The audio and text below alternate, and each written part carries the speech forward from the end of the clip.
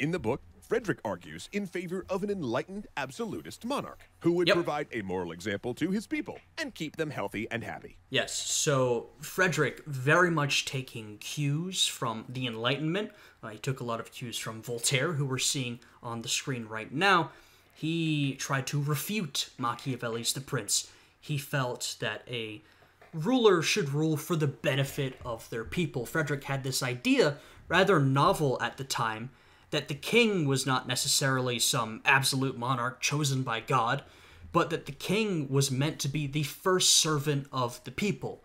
This was still a pretty crazy idea. He didn't come up with it necessarily, it was based on social contract theory that had come before him.